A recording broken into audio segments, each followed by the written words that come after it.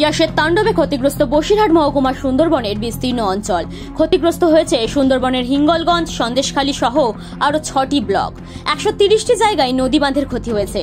পঁয়তাল্লিশ হাজার হেক্টর জমির কৃষি ফসল নষ্ট হয়েছে। প্রায় লক্ষাধিক মেছোঘেরির মাছ নষ্ট হয়েছে। লক্ষাধিক মাটির কাঁচা বাড়ি ক্ষতিগ্রস্ত হয়েছে। সব মিলিয়ে সময় যত যাচ্ছে, ক্ষতির পরিমাণ তত বাড়ছে। বুধবার রাজ্য যুব তৃণমূল কংগ্রেস সভাপতি অভিষেক বন্দ্যোপাধ্যায় সুন্দরবনের সেই সমস্ত ক্ষতিগ্রস্ত এলাকা পরিদর্শনে আসছেন। প্রথমে সন্দেশখালীর ধামাখালী মাঠে হেলিকপ্টারে আসবেন, সেখান থেকে লঞ্চে করে নদীপথে ক্ষতিগ্রস্ত নদীমাত পরিদর্শন করবেন। পাশাপাশি বেশ কয়েকটি জলবন্দী দুর্গত এলাকায় গিয়ে দুর্গতদের তিনি নিজে হাতে ত্রাণ বিলি করার পরিকল্পনা করেছেন। তারপর তিনি আকাশপথে দক্ষিণ চব্বিশ পরগনায় চলে যাবেন। অভিষেক বন্দ্যোপাধ্যায়ের আসার আগে তার শেষ মুহূর্তে চূড়ান্ত প্রস্তুতি চলছে। মঙ্গলবার জেলা ও মহকুমা প্রশাসনের আধিকারিকরা ধামাখালীতে একটি চূড়ান্ত প্রশাসনিক বৈঠকও করেন এই বিষয় নিয়ে।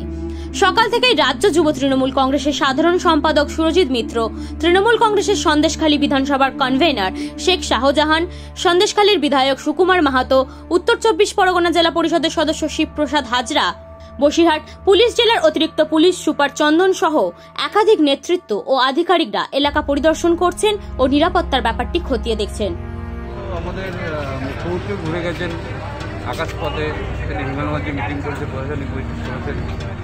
সুন্দরবনকে আমাদের দিদি যেমন নিজের চোখে দেখেন, তেমনি আমাদের অভিষেক বন্দ্যোপাধ্যায় নিজের চোখে দেখবেন, যেখানে ইয়ে আছে, কত ক্ষতিগ্রস্ত হয়েছে, কত মানুষ দুর্গত। কতটা নদীবাদ ক্ষয়ক্ষতি হয়েছে তিনি দেখতে আসছেন এবং এটা আমাদের কাছে তৃণমূল বলেই সম্ভব। তৃণমূলের একজন লিডার আমাদের সর্বভারতীয় নেতৃত্ব যে এই কাজটা করতে পারে এবং সেটা আমার মনে হয় যে বিজেপি যেমন আমফানেও আসেনি বিজেপি ইয়াসেও আসেনি কিন্তু আমাদের নেতা নেত্রীরা সবসময় মাটিতে নেমে কাজ করে। এটা আমাদের প্রমাণ হচ্ছে অভিষেক বন্দ্যোপাধ্যায়। নদীপথে কি পরিদর্শন করবে হ্যাঁ তিনি নদীপথে পরিদর্শন করবেন। এবং দুর্গত মানুষদের কাছে যাবেন। তাদেরকে রিলিফ দেবেন সব কিছু তিনি করবেন এবং তিনি নিজে সচক্ষে তিনি এখানে আসবেন। Bureau report Bhumi twenty four into seven.